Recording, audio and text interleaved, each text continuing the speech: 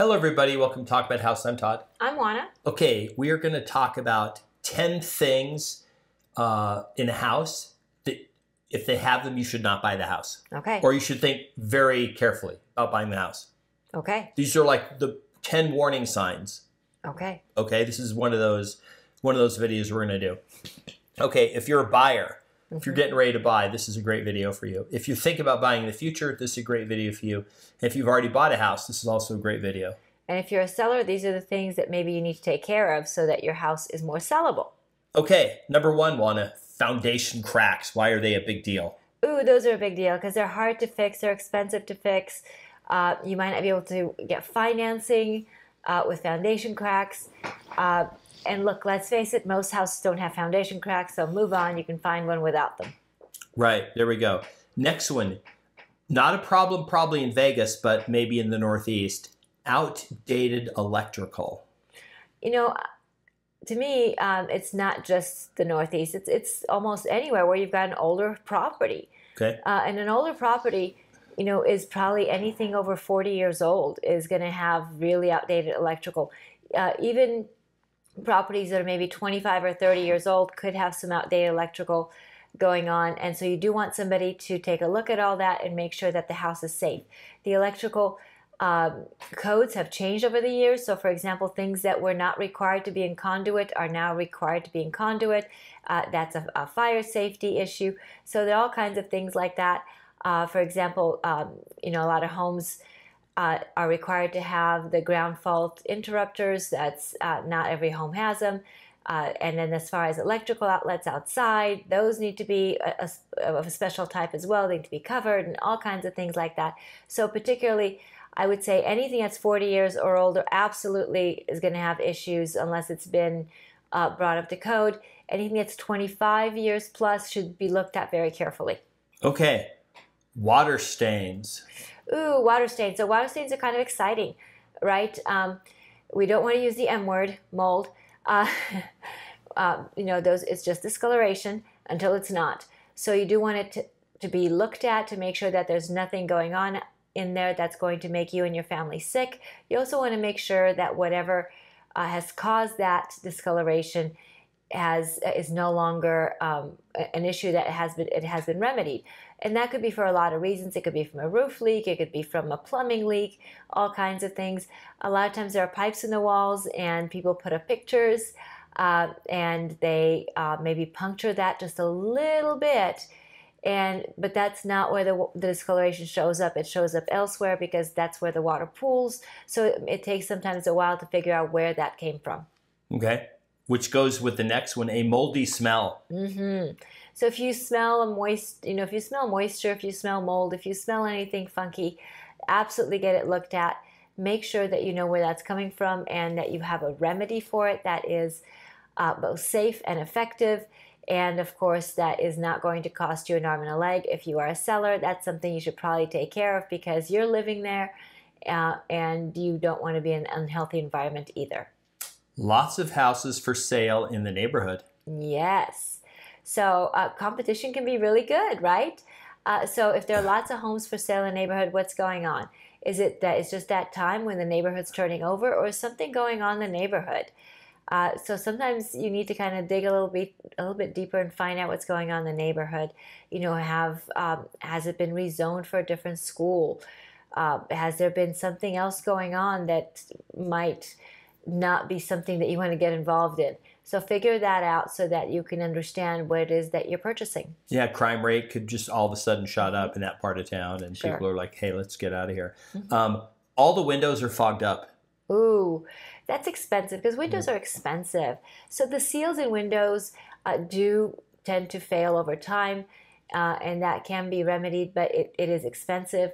So you do want to make sure that if you do have such a house uh, that you're considering to purchase, you get a glass person out there to give you some estimates for what it's going to cost to remedy that problem if you are a seller.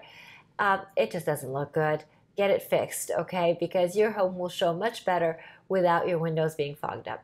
Um, obvious signs that the exterior of the home has not been maintained. Yeah, you know, I have um, I've been with clients where we pull up to the house and they go, you know what, keep on driving. We don't even get out of the car because when we pull up, you know, the house just does not have that curb appeal, right?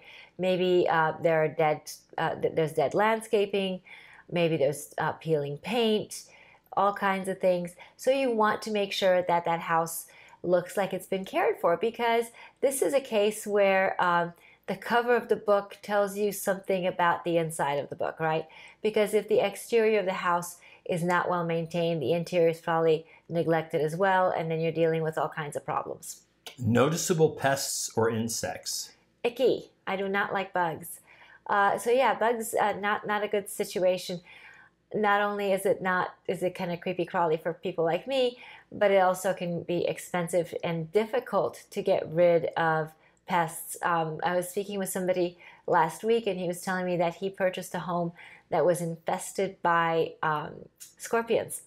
And oh my god! Yeah, and it took years to get rid of these buggers. Uh, he said that you know he had every guy in town out and and tried all kinds of things, and it took a long time to get rid of the scorpions. I had an REO house, bank owned home. I was doing my weekend inspections. It was over in like 89108. It was a crappy little house. It was in an old, dumpy neighborhood. I, you know, I, I just, you know, I, I like parked. I went in. I just had to get some pictures to make sure whatever was going on with the house, house was fine. So, and I, I walk in the house and I walk into, it's like linoleum floor. It's really nasty. It was an older home.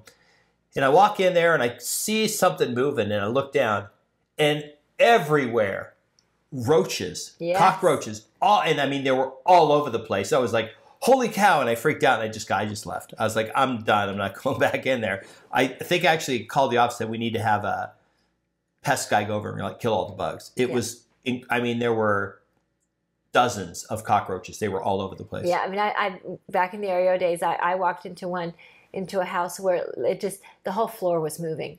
yeah. It It might was- have been the same one. It was ew. It might have been, yeah, it might have been the same house. It was pretty bad. Okay.